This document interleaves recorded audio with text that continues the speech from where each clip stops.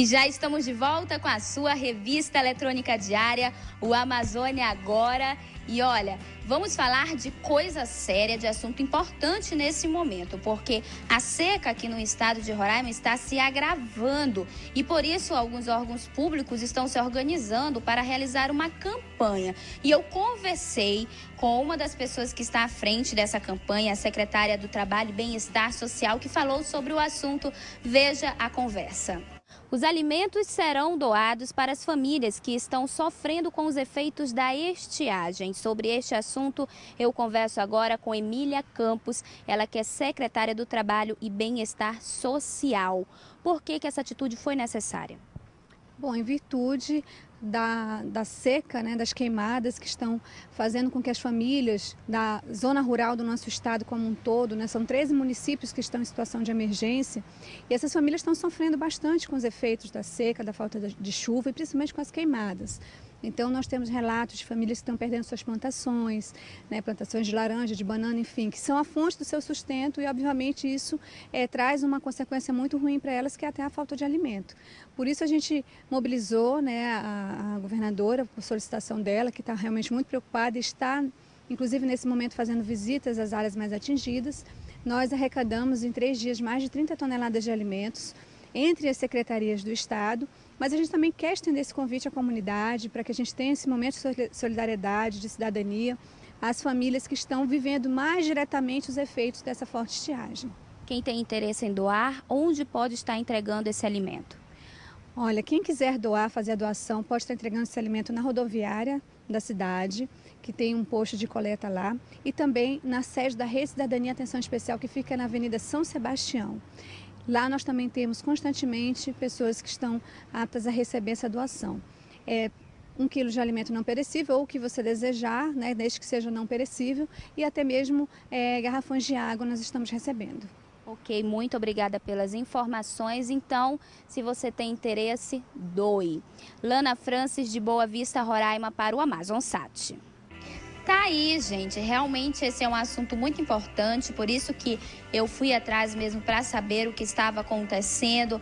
As famílias aqui no estado de Roraima estão sofrendo muito com esta situação. Quem está aqui vê realmente a situação do Rio Branco, que está secando diariamente, cada vez mais muito triste mesmo o que está acontecendo e a gente fica aqui na torcida para que chova, que caia uma chuva boa aí para aliviar o calor e essa seca.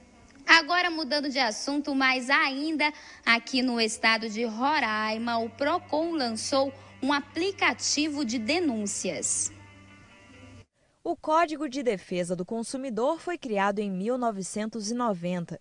De lá para cá, tanto a sociedade quanto o comércio passaram por mudanças. Em Roraima foi lançado um aplicativo que visa melhorar o atendimento à população. Esse aplicativo é mais um instrumento para facilitar é, ao cidadão fazer a denúncia quando detectar alguma irregularidade em alguma empresa, alguma loja, em algum supermercado aqui na cidade, porque ele poderá fazer online, não precisando se deslocar até o Procon. O aplicativo irá funcionar nas plataformas Android e iOS.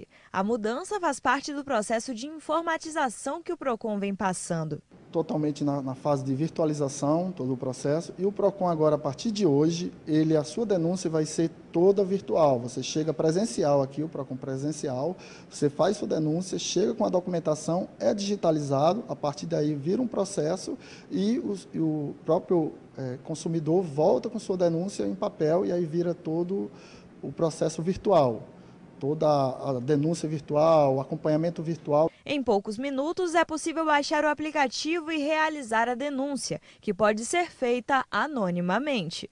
O aplicativo basicamente é somente da denúncia. Né? Se você pode enviar através de fotos ou através de textos normais. Se você quiser tirar uma foto de alguma denúncia, ou verificar alguma ilegalidade é, que, o, que o fornecedor está burlando a legislação, que é o Código de Defesa do Consumidor, ele pode ali registrar sua denúncia e encaminhar através do aplicativo para o PROCON da Assembleia Legislativa. Então você já sabe, se agora você está no estado de Roraima e tem alguma denúncia a fazer, é só fazer o download desse aplicativo e pronto, né? De repente o seu problema seja resolvido. Agora, olha só, gente, o Tribunal Regional do Trabalho da 11ª Região Amazonas e Roraima promoverá no dia 26 de fevereiro, às 9h30, o primeiro leilão público do ano, com bens avaliados em mais de 2 milhões de reais. Fazem parte do lote a arrecadação de bens móveis e imóveis. O leilão será realizado no depósito judiciário localizado na rua Marciano, número 269, bairro Nossa Senhora das Graças. Entre os bens móveis que serão leiloados estão dois ônibus, um carro, 18 equipamentos, oito ar-condicionados, cinco caminhões, uma máquina de hemodiálise e outros. E entre os bens imóveis estão duas salas comerciais, terrenos em Silves e na margem do Lago do Aleixo. Então, olha só, essa é uma ótima oportunidade para você. Se você de repente tem interesse, acesse